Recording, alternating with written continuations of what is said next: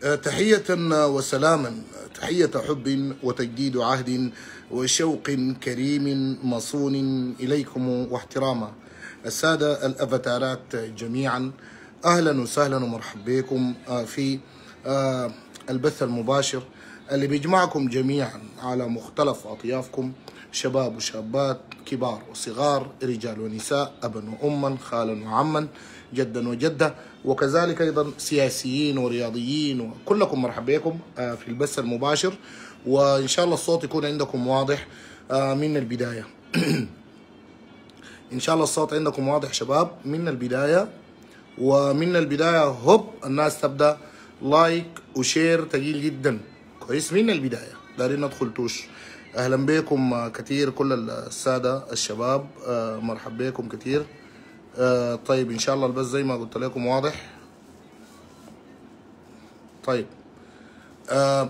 حقيقة الناس تعمل like share ال like أسفل الفيديو على يدك الشمال تحت ال share أسفل الفيديو على يدك اليمين. كتر المشاركات في كل الجروبات بتاعتك.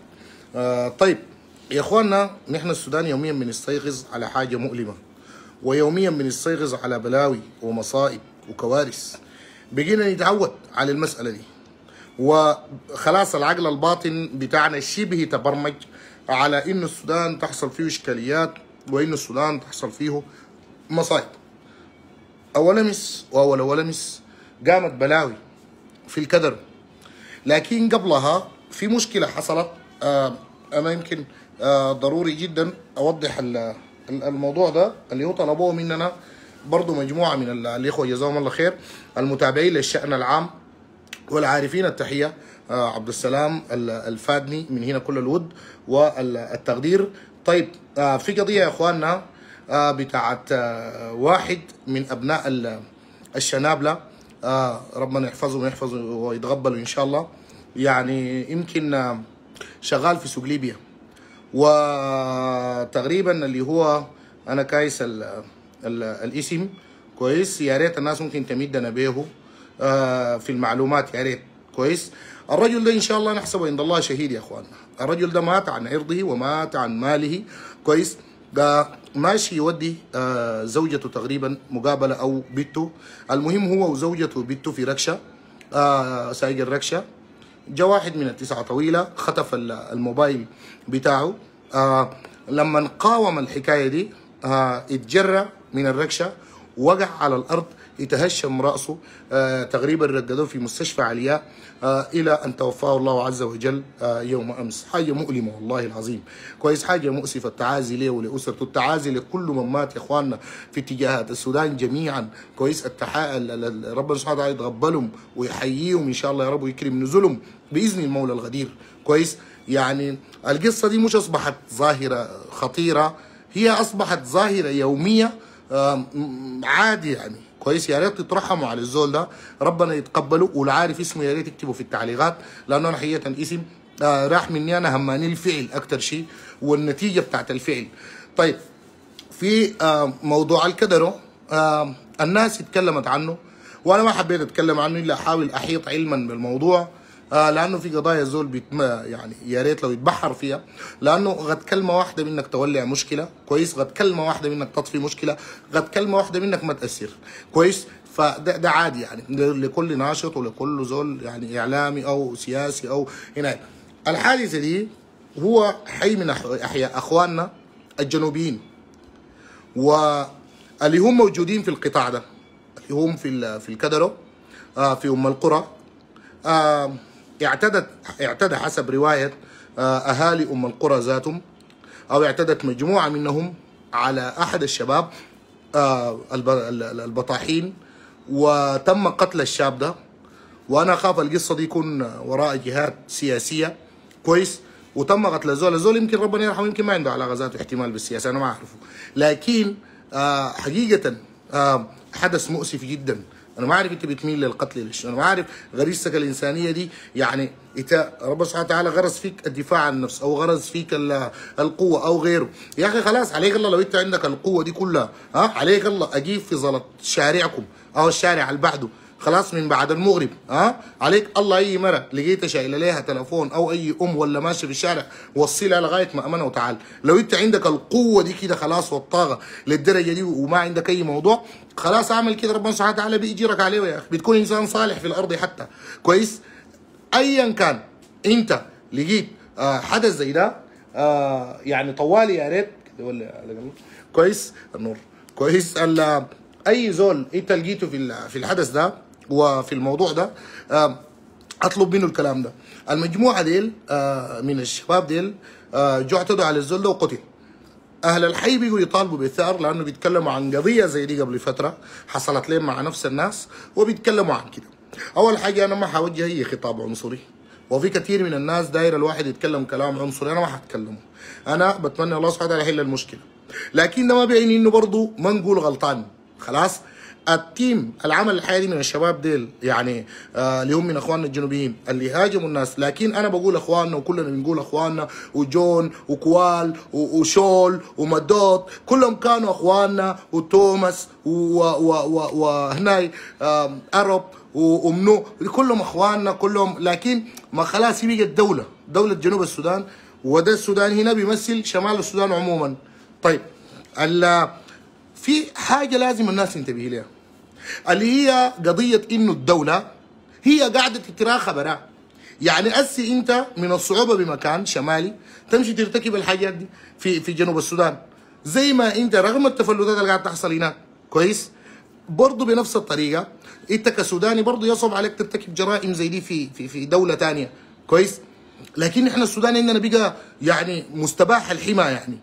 زمان وائل بن ربيعة قال سيعلم آل مرة حيث كانوا بأن حماية ليس بمستباحه فبالتالي انت انت السودان أول حاجة عبد الله البشير لو بتتذكروه خلاص أخو عمر البشير خلاص اللي هو كان فاتح الهجرة كويس غير الشرعية خلاص وبياخد جوازات 1500 2500 دولار في الجواز الواحد ضيع البلد دمر البلد. أنتوا ما قلتوا اتخذتوا قرار من رئيس الجمهورية إنهم يجوا آه، داخلين ودارين تقيفوا معاهم كسوريين مثلا. طيب ليه لما جو بتبيع لهم الجوازات؟ طيب وبالسعر الغالي ده. ما هي تجارة هي. فهمت؟ هي تجارة. انت ما قصدك أصلا اخواننا ولا اشقائنا؟ فهمت؟ ده كلام فارغ صايب بتقول أنتوا ساي يعني كلام سياسي كده ما أكتر. زي زول جاي تشتري منه حاجة مثلا يعني ال- القصة دي كان بيرويها لي الوالي الطوالي ربنا يشفيه. كان بيرويها لي. اللي هو إنه يعني جا جم حتة في دكان فالزول بتاع الدكان لقاه بيرحب بزول يا ود القبائل يا ود الأصول يا فقال اتكيف جدا يعني من اللي هناك فلو الزول مشى قال له الزول ده منو؟ أنا ما عرفته. قال له والله أنا زي بعرفه. قال له طيب أنت قلت كلامك ده بناء على شنو هسي؟ يا ود القبائل والأصول يا سيد يا قائد يا رائد. طيب وين؟ قال له آه ما كلام سوق ساي. فهمت؟ فنبعد من كلام السوق الساي ده. فهمت؟ نركز في لغة العمل. طيب الدولة دي الآن عليها تحصر عدد كل اللاجئين في السودان. لو كانوا من جنوب السودان ولا لو كانوا من نيكاراغوا ولا لو كانوا من البرتغال أو من إيطاليا أو من روسيا أو من أمريكا أو من كليمنجارو ناس أمريكا الوسطى أو لو من أي دولة تانية. كويس ولو جاي من كوكب آه، زحل. برضه خلاص الدولة عليها الآن إنها تحصر أعداد اللاجئين. كويس بسرعة خلاص واحد. اثنين مثلا عندك لاجئين الآن قاعدين في غابة ديشانجو الغابة بتاع ديشانجو دي يا اخواننا انت نازل كثير بيعرفوها طبعا. لكن انت نازل من كبر الفتحاب على يدك اليمين. أنا الحتة دي كل ما عايلها الوجيعه بتقتلني. هسي حتة زي دي ما تعملها يا أخي سياحة يا أخي. يا أخي ما تعمل استثمار يا أخي. يا أخي دي ما جزيرة جوا البحر يا أخي وفي جزيرة ثانية بدات تنمو لك قبلها يا أخي. يا أخي ما تستفيد منها يا أخي. يا أخي يا أخي عمر البشير عرفناه مخه طبلة وما بيفهم حاجة. فهمت؟ واغلب المعاو أو كثير من المعاو كانوا بالصورة دي. فهمت؟ لكن انت برضك بالمقابل الحرية والتغيير جيت وربنا سد أمخاخكم زي ليلك. صم بكم بنفس الطريقة. كويس؟ يا أخي استفيد منها غابة ديشانجو دي أول حاجة أعمل لك استثمار وسياحة. عملها حتة سياحية. العالم بيفتش الحتات زي يا زول الغطرين. أنا في الدوحة كنت وشهدت الحاجة دي. شفتها أو شفتها بعيني يعني هذه. الناس دفنوا البحر. منطقة سموها الدفنة. سموها الدفنة. دفنوا البحر وبنوا أبراج. اللي هي بتلقاها على كتارا والحتات دي. بنوا أبراج عديل فهمت ف... ف... فالعالم بيبحث عن حاجات زي دي. شباب أنتوا انكم واضح وكل حاجة. لو سامعني like share يا جماعة. لو سامعني like share. ال like اسفل الفيديو يمينك المشاركة اسفل الفيديو آه آه، يمينك وال share اسفل الفيديو آه هنا ال like اسفل الفيديو عندك اليسار كويس؟ يا ريت وملصقات بسرعة. طيب آه زي ما قلت لك دي الأحداث كانت الحاصله آه الآن عندك زي الغابة دي بتستفيد منها. الآن أنت عندك لاجئين قاعدين في الغابة دي. قاعدين يقطعوها ساي. مستغلينها وكرة للإجرام كويس؟ وضرر للدولة. بالمناسبة كل الدول بتفرض وبتعمل سجل ضريبي على كل زول مهاجر جلي أرض دولة ثانية أو بلد ثانية مباشرة بيتم بيعملوا له آه الضرائب دي بيمشي بيدفع سنويا. حتى اللاجئين اللي لسه بيكونوا مثلا من السودان أو من أي دولة. مشوا أوروبا مشوا أمريكا مشوا كده. كويس. كل الرعاية اللي عملوها لك لما انت جيت دي والدولارات اللي ادوك لها انت جيت آه وشنو حقوق الإنسان والدولة و بعد شوية بيخصموها منك من خلال عملك العام في الدولة. كويس. لما تعمل بعدين آه هم بيقوموا مباشرة. عشان كده هم بيركزوا مع الزول اللي بيحاول يتعلم من البداية. هم بتتعلم ممكن مرات يصعبوا لك إجراءات ال- ال- الجواز إجراءات ال- يسموها شنو؟ الجنسية. فهمت؟ بتاعت الدولة دي. فهمت؟ عشان كده دي رسالة لك. لو مشيت امشي حاول تطور. ما تحاول تمشي تعديها. يعني واحد ينوم الصباح يصحى الساعة 10 يجي يعمل لنا لايف يقول لنا الآن دايرين نشكل مليون جندي ومليارين. إنت كان بطل صحيح ما تجي تشكلها من هنا. إنت بتحرش الناس مالك إلا للفتنة. أعوذ بالله منك. قدر ما الزول يعني يلقى حاجة يرسل له مقطع يشوف ده فلان بينبذ ولا ده الا كلام فارغ ما بيبني بلد. كلها عنصرية وفرتكة وكلام فارغ. فهمت؟ وبحرشوكم عليه غاده حركات للأسف. فهمت للأسف وبتعملوا نفسكم انه ده رأيكم. ما عندكم رأي ولا قيمه للدرجة دي معاهم أنتوا هم بيحرشوكم بيقول لكم قولوا كده. فهمت ولاحظوا الحاجة دي. الخطاب ده ذاته كان عنده جزء من الحاصل ده الآن. الخطاب ده ذاته السياسي ده أربطه بالواقع بتاع تفلتات كثيره بتلقى عنده دور. قادة الحركات المسلحة. إنتوا كثير منكم بيحرض أبنائكم على العداء بيحرض أبنائكم في القوة ذات الحركة السياسيين الخطابيين تحديدا منهم. بتخلوهم يطلعوا بس إلا ينبذوا. الناس عنصريا يا قابل البلا الواحد لا تلقى عنده طرح لا تلقى عنده وعي ولا تلقى عنده إدراك ولا عنده فهم أحقاد وحسد وأدران في النفوس. يا أخي كلام فارغ يا أخي. خلاص؟ وبنفس الطريقة. كويس؟ الأحزاب السياسية. الأحزاب دي علمت كوادير إنهم يكونوا مذلولين ما يقولوا رأيهم نهائي. بس يحرشوهم شو نبذوا كده ينبذوا قولوا كده بقولوا لكن ما علمتهم على القوة ولا الشجاعة ولا دي حاجة انت بتكتسبها. بلاك بعضك آه، الاحزاب قد تضيف لك جزئيا كده. فهمت؟ الكدرو هي حادثة بتعبر عن إجرام حاصل في بلد آه المفترض يكون أمنه متوفر.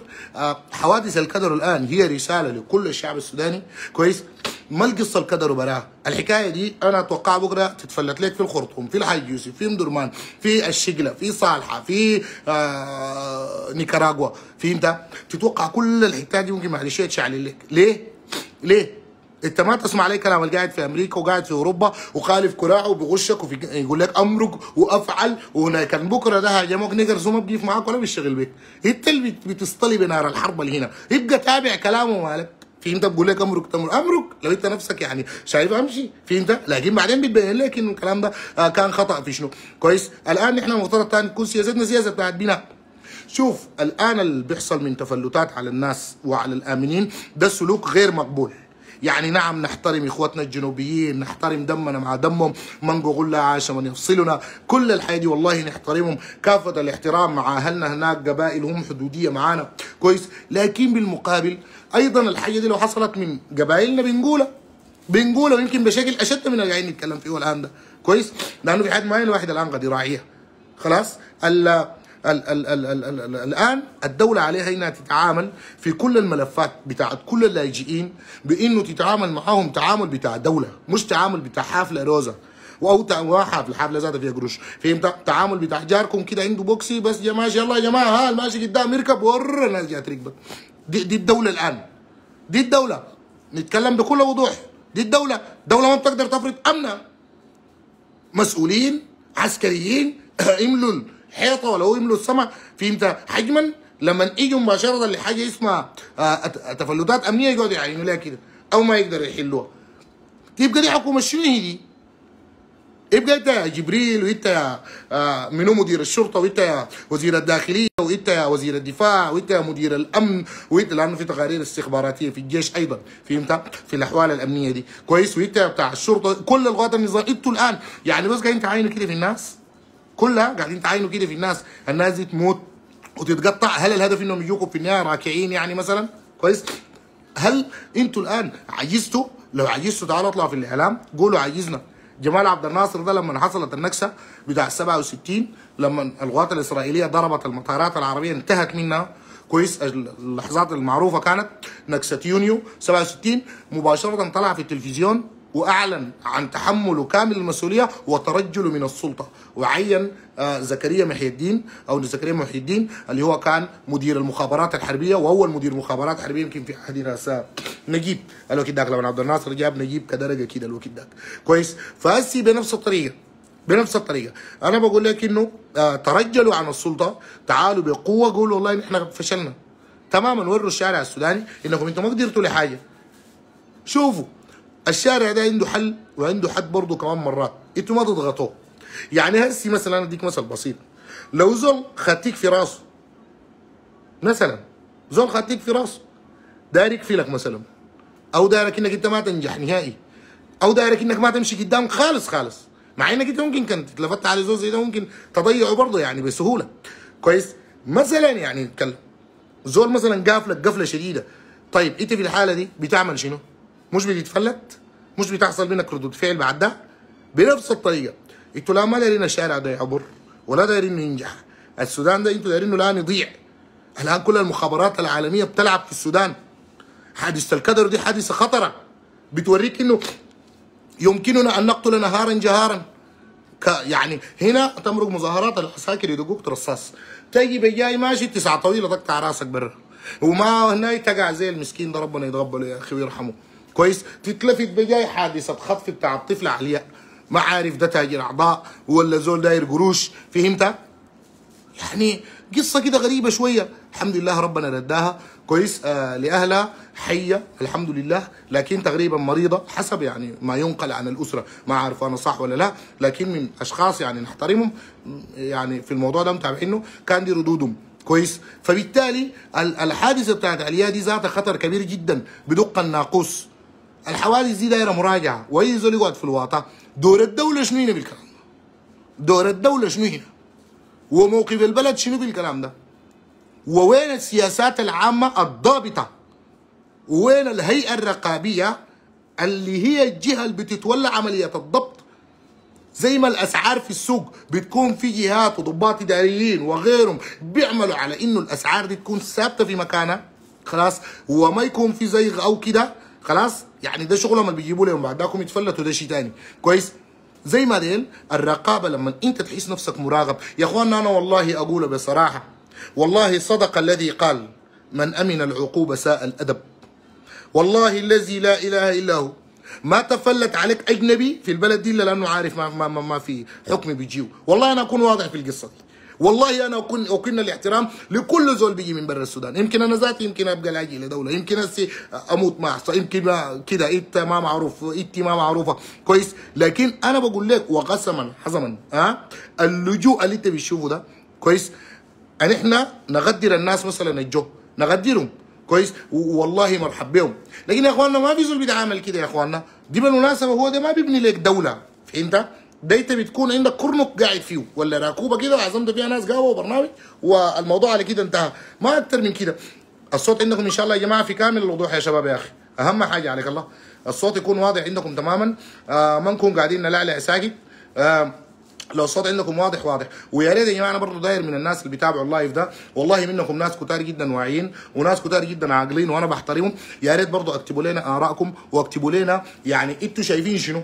خلاص اللي يحصل أنتوا شايفين شنو؟ انه الدولة تتعامل كيف هنا في القضية دي، أنا ما داير أتكلم لك فقط والله في الكدر حصل، أنا ممكن أقول لك كده وأقعد اركز لا. أنا قاعد أتكلم لك في الحلول الآن، كويس؟ بتكلم معك في الحلول. أنت ذاتك ساعدني في الحلول ساعديني في الحلول من داخل وخارج السودان. كثير منكم ما شاء الله ربنا من عليه بوعي أو بثقافة أو برؤية. اكتبوها علينا خلوا اللي بيجي يقرأ التعليقات يلقاها يستفيد منها. كويس؟ أنا متابع في الجهه الثانية الشبكة عندكم تماما واضحة يا اخوانا لو الشبكة تماما عندكم واضحة ورونا. قول لنا والله الصورة عندنا واضحة الشبكة واضحة أي حاجة واضحة. المشاركات يا شباب أعملوا share أعملوا share الله يبدا خليه يشوفوا وزير الداخلية الله يبدا خليه يشوفوا مدير عام الشرطة الله يبدا خليه يشوفوا رئيس يشوفوا رئيس الدولة. خلاص الله يبدا يوصلوه كل مكان. يا أخواننا نحن بنحتاج بعد صوت بتاع وعي عالي. نحن بنقول الآن من الشارع الآن المهمة دي هي مهمة بتاعت عساكر.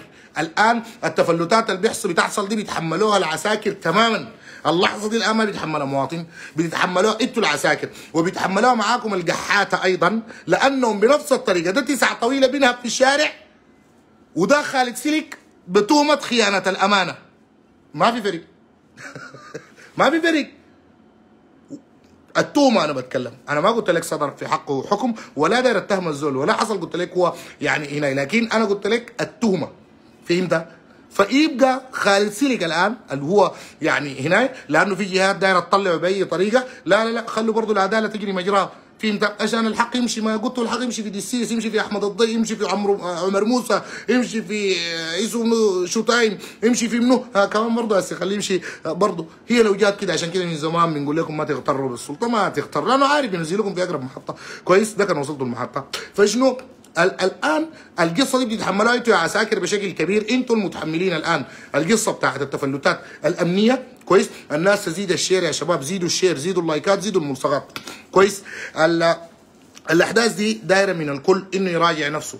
خلاص آه من المسؤولين. دوره شنو؟ يجب تكون في محاسبة لكل زول من العساكر. عارف الموضوع ده؟ أو أي زول من العساكر مسؤول وما تدخل القاعد يحصل ده بعد شوية حيؤدي لك لحاجة اسمها تفلتات ولحاجة اسمها سيولة أمنية بشكل حقيقي بعد ده. أنت فجأة بتشوفها بعينك يعني. كويس؟ تفلتات أمنية. فجأة خلاص ما تأمن فيها على زول. يعني تاني يكون يعني فعلا زي ما قال ال- آه، أقبلت الفتن كقطع الليل. المظلم يتبع آخرها أولها. كويس؟ يعني انت بتجيك فتنة ما بتعرف تمرق تمشي الدكان. بتجيك فتنة ما تقدر تمشي الزلط. تجيك فتنة ما تقدر تمشي السوق. تمشي الخرطوم تمشي مدرمان تمشي بحري. خليك من تسافر. داخل ولا خارج البلد. فهمت؟ ال- الكلام ده أنا بقوله لأنه بنبه. وبنبه. وبنبه كمواطن. وتاني بذكر وأنا ممكن أقول لك أي بيت غيره. لكن الأبيات دي لأنها بتحمل خطر جدا. الأبيات بتاعت أرى تحت الرماد وميض جمر. أرى تحت الرماد وميض جمر ويوشك أن يكون له ضرام. فإن النار بالعودي- بالعودين تزكو وأولى الحرب مبدأها الكلام. فقلت من التعجب ليت شعري أأيغاظ أمية أم نيام؟ أنتوا وين يا سادة يا دولة أنتوا وين الأمم المتحدة؟ بتقول أول الولايات المتحدة بتقول فرضوا عقوبات قبل شوية في قناة الحدث فرضوا عقوبات على آه، قوات الاحتياطي المركزي. الموضوع ده في صالح نفسه ضد ناس أفهموه؟ طيب آه على أي حال آه زي ما قلت لك هي القصة آه يعني قدر ما تعاين لاطار الموضوع تلقاه كبير. أهلنا في الكدرو نرجوكم يتعاملوا بضبط النفس بقدر الإمكان. بقدر الإمكان. كويس؟ يتعاملوا بضبط النفس. كويس؟ وكمان في رسالة. الناس اللي في في مقطع لاف الحرامي تقريبا آه اتقبض في حتة جبرة ولا وين؟ في حتة غايته في الخرطوم دي. كويس؟ وشوف أنا داير أقول لك كلام. آه في فرق بين إنه أنت تأدب السارق وما بين إنك أنت آه تشهر وتستعرض بطولتك في النهايه ضد زول واحد برضه دي برضه حقيقة يجب إنها تتقال. كويس؟ أنا معاك. ممكن تسلم الشرطة بكرة يفكوه. هي دي كمان حارة خلاص. خلاص؟ أنا معاك في القصة دي. ممكن عادي توديه الشرطة يفكوا لك من صباح الرحمن. ده كمان بالليل لك. عادي هتحصل كتير يعني. ناس قتال بنعرفهم فتحوا قضايا عديد في حاجات زي دي يفكوا لهم الحرامي في ثاني يوم. فهمت والله أنا أقسم بالله بعرف زول ديل أخوانه وهو صحوا بالليل بصوت حرام ما وين وين؟ اقبض أقبض قبضوا الحرامي. دقوا الحرامي ده الليل ده كله. فهمت؟ شوفوا في في في ال- ال- القصاص ربنا بيقول لك يعني ولا يسرف في القتل. خلاص إنه كان منصورا. خلاص كفاية. ما ضروري يقتل تاني. مع ال- الزول اللي قتل أخوه يقتل أخوه يقتل لا هو ما طبعا يقتل العداله فهمت؟ فالحرامي ده جاء بالليل في البيت. دقوا الحرامي ده لغاية الصباح. الصباح الحرامي قالوا ما يودوا الشرطة فكوه فكوه مشى. الزول بعد ساعة ساعتين جا دق لهم الباب تاني. هي يا جماعة قالوا لا لا لا لا ده ده ده ده ده, ده, ده تحدي. فهمت؟ فتحوا الباب جاهم بهدوء ولا منفعل ذاته سلم عليهم وكده. وقال لهم إنه عنده شريحة قريبة الوقت ده كانت في جيبه ووقعت منه أثناء عملية الدق وعنده خمسة جنيهات قاعدة كده في في الجيب ومن الأفضل إنه الناس تديها له وهو ماشي ذاته قال له ما قاعد يعني فهمت؟ لكن أثناء الدق قال لهم باري العيال دي وقعت فشوفوا لنا على الله. فهمت؟ يعني ده حرامي حقيقة هو. يا أخي أنا ما أعرفه يا أخي. يا أخي ده حرامي صغير حرامي ولا خالد سلك ذاته ما أعرفه. فهمت؟ حسبي بالله منهم الاثنين. فيلا ده معناه يا جماعة برضه الإنسان بيخطئ بالمناسبة. أنا أتكلم عن سلكيه فهمت؟ ال ال ال ال ال هنا اسمه شنو؟ الإنسان بيخطئ. فهمت؟ الزول السوي قد يغلط في الشارع قد يسرق قد يفعل. كويس؟ لكن برضه لابد من رادع ولا بد من هو نفسه يصلح الحاجة دي. برضه دي رسالة. خلاص؟ أها. قصة تقبض حرامي وتعذبه انت عارف الحرامي ده لو مات في يدك انت والحوالي ده كلهم بتتجرجروا قانون؟ أعوذ بالله منه. كويس؟ أنت عارف قانونك السوداني؟ ما شاء الله. قانون هندي وبريطاني ومضاف إليه وكده سودانيا. كويس؟ أنت عارف الكلام ده؟ أنا بقول لك عشان ما تقع في مشكلة. أخالف كلامي ده وأمشي أعمل الدايرة. لكن لو وقعت في قضية اللحظة تنقبض وتتذكر الكلام ده. وما بينفعك تاني. كويس؟ انت حاول سلم وميل. إذا قبضت حرامي ميل على إنه يكون حولك ناس كبار في العمر. لأنه ديل برضه عندهم الحكمة. ديل الممكن يوقفوا لها يا شباب. أغلب الفيديوهات اللي بنشوفها لأذى الحرامي بنلقاها من ناس شباب أغلبهم. ولغاية ال 40 كده. لا دخل 50 71 كان لقيته تجيبه في أنت 90 كان لقيته تجيبه آه كده. قدر ما الزول كبر في العمر قدر ما كان أفضل. خلاص؟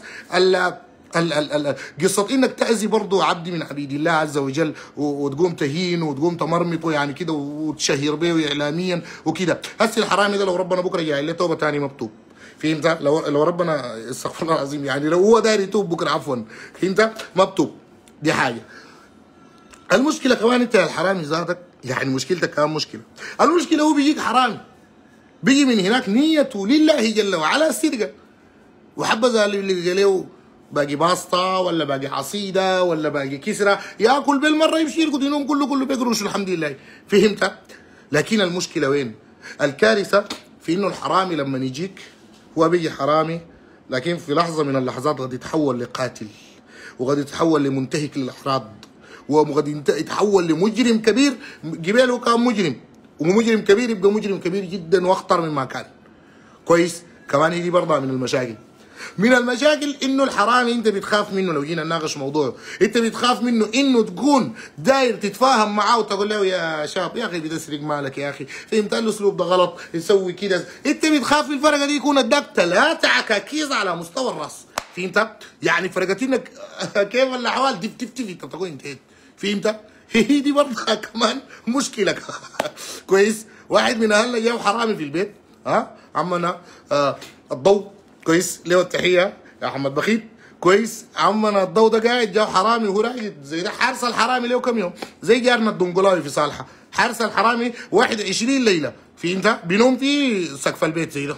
في انت بس داير الحرامي ده الليلة يجي. لأنه سرق منه تلفزيون وشافه ذاك ياهو لو انجرى وراه وصل الباب الحرامي منتظره واحد ثاني حرامي. أداك كوع في راسه وقع يغمي عليه الحكاية دي وجهات وجع في انت لغاية ما قبض الحرامي. كويس النهايه تكللت جهوده بالنجاح يعني.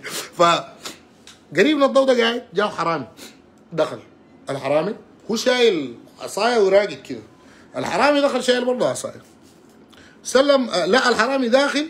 بعد دخل المطبخ حتى ده قام حاصره بعد ده. وأنا أعتقد ده ذكاء منه برضه. لأنه هم جايز وضع البيت قبل إنه لو جه حرامي. الحرامي دخل المطبخ. جا مالك؟ اتلاقوا هو قريب من ده. وها هو يو. فهمت؟ عين ده وقعد في ده. زي في المسلسلات تين تين. فهمت؟ وزير ساي يقول لك فهمت؟ وش ف عائل الحرامي قال له هاليوم بتعد بيين؟ يعني بتعدي بيين تمشي وين؟ قال له بتعد بيين. ده قال له بعد بيبو كان جيت. فهمت؟ بعدي بالمحل جيت بيو قال له حلف له طلاق. وما عارف أنا والفلان والفلان الرمح الكوكاب وان المهم غايته ذكر له مؤلفات بتاعت شعر كويس ومجلدات ضخمة. فهمت؟ يعجز القارئ عن قراءتها في 33 ليلة كويس ما كنت تم ربعها فهذا الرجل بعد ما تم إشعاره دي وضرب الزول في يده كسر له وضرب الزول في رجله كسر له. قبض الحرامي. وداير يذبح الحرامي وأنا والفلان وقاتلت في الجيش السوداني وأنا سوي يا أخي والله خطبة ما في داعي ليه كويس. قال لا يذبح الحرامي. إلا زوجته كورة كانت لما الجيران جو جايين يحقوا الزول خلاص هو بدأ تماما يعني. لما الدم بدأ ينزف. انت شوف الحرامي هو بشر في النهاية. اتعامل معاه. اضبطه بطريقة قبل ما إنه يحاول يضربك أو يأذيك. فهمت؟ حتى لو دعا الأمر لأنك تضربه ضربة خفيفة غير قاتلة يغمى عليه أو حاجة عشان أنت ما تتأذي منها. ده لو جاك في بيتك أنا بتكلم. كويس؟ بقدر الإمكان. بعدك اوسغ يدينه بعدك سلمه لاقرب مركز بتاع شرطة أو كده. لكن أنت لما تقوم تتعامل معه أنت ذاتك تعامل السلطة. أنا دي السلطة تبقى فايدتها شنو؟ زي زمان مجموعة من التكفيرين الواحد يمشي بيلقى بيت لابسه ليها يعني لبس قصير كده وماشي في الشارع. أنت بتناول صوت على بتقول لا إله إلا الله وبلين في الولية ده. فهمت؟ ده ده يعني السلطات ربنا جعلها عشان تقوم هي بالدور ده. هو لو أي مواطن بيشيل حقه ما فسدت الأرض خلاص انتهت. كويس؟ الجلزول سب الديانه في الشارع ولا أساء ولا كده بقول له قل لا إله إلا الله. الزول ما قال بيقطع رأسه بالسيف. ده كان زمان بيتذكروا مجموعة ناس عباس مسجد الجرافة اللي بيتذكروا الكلام ده. كويس؟ بعد ما قتل الناس وهم بيصلوا. بيصلوا في الجامع. هو قال لي أنا بكره ما القاكم بيصلوا هنا ها لأنه بقتلكم هم يفتكروا الزول عنده نفسيات أو يعني كيف يعني قتلنا ونحن عصبة ونحن ونحن. ففي الصلاة بكره الناس في الصلاة جاء لما في الناس ضرب. في ناس قاموا جارين وصلوا الباب الطلقه جاتهم ماتوا. في ناس قاعدين في السجود زي ده زول جاته حاجة ما في. أنا بس القدر اللي ربنا كاتبه سبحانه وتعالى. ضرب الناس دي كلها لما الشرطة بعد ذلك جت طوقت المحل ضرب نفسه طلقتين قال هو مسلم نفسه للكفار يعني. لا حول ولا قوة إلا بالله العلي العظيم. فيلا المجتمع لما أي زول يصدر أحكامه وتشريعاته وفعله ده غلط كبير. أنا أتمنى رسالة لكل الشباب في كل الأحياء امرقوا دوريات في الحي. نحن 2013 قمنا بدورية رائعة جدا كانت في صالحة. واتطورت وتصدرت لغاية الشقله واحياء كثيرة جدا. وفي أحياء صالحة كلها عامة من مربع واحد اتعممت كل الأحياء. الدوريه دي كنا بنتكلم لها كنت بتكلم لها أنا بعد كل صلاة جمعة أو كل يومين كده بننور الناس عن الحاصل. كانوا مشاركين فيها آباء وأمهات جزاهم الله خير. كويس وشباب من صالحة يعني كمية كبيرة جدا. كويس؟ أمرقوا دوريات. وفي الدوريات أحذروا حاجة اسمها وشوف الدوريات دي غالبة ما الهدف قبض الحرامي. الدوريات دي الغالب فيها الإرهاب. مو ما حتقبض الحرامي ما من الساهل فهمت؟ أتذكر في الدورية أيامنا الاولى يجيني واحد ماشي بيدينه أنا معاكم في الدورية. والله الحرامي يلم فيك أنت اسمع بيدينك سعي كويس والله الا تأمن. زي برضه واحد من الجيران. أنا أخلص الله يا أخي بيخليني أتونس الشيء ذاته عارف كويس؟ زي واحد من الجيران في صالحة يعني يتخصص في الحرامي. كل ما الحرامي يجي آه يعني بقوم ساك الحرامي قبض كم حرامي؟ وعمل كم هناك؟ الحرامي رصد الحكاية دي.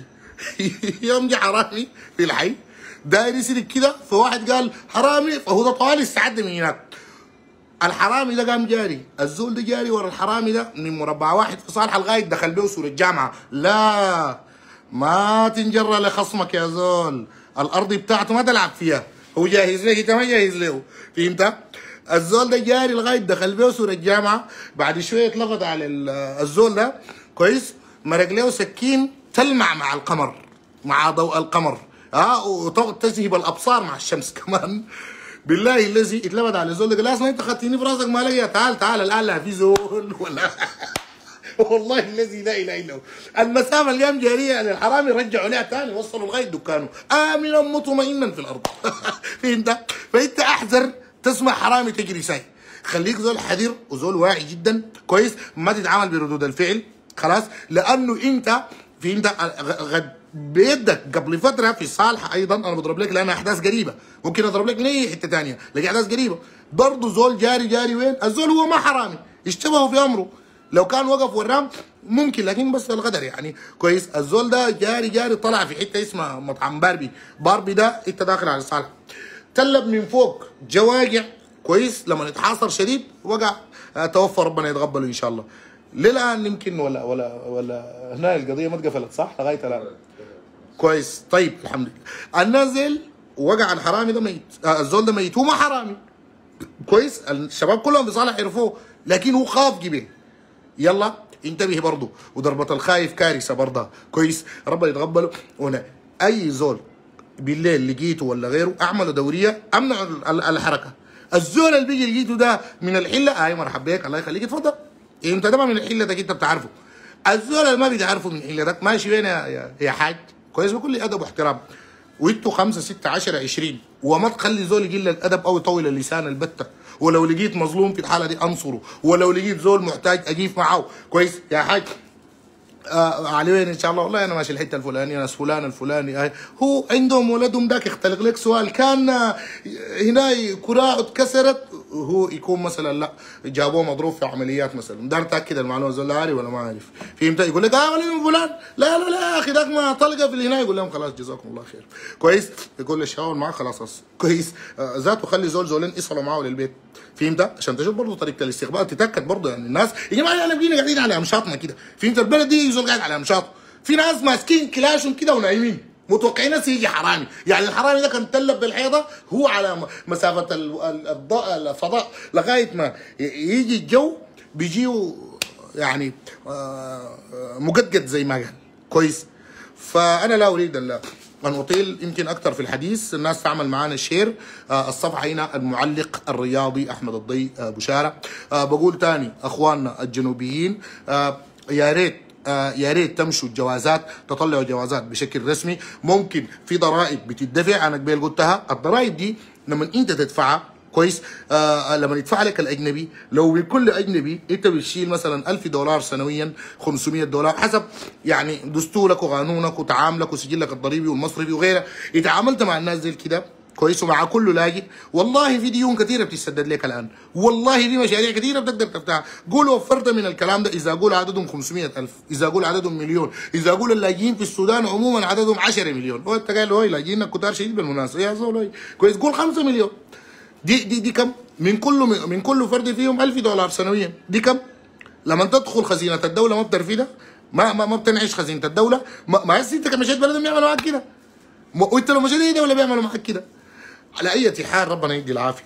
شيروا ال live ده يا ريت في جروباتكم الوا- الواتس والفيس. لو زول قال لك يا أحمد الضي ده مختفي قول له قاعد اللي هو أكتب في الصفحة في البحث في الفيسبوك فوق المعلق الرياضي أحمد الضي بشارة بتجيك الصفحة خليه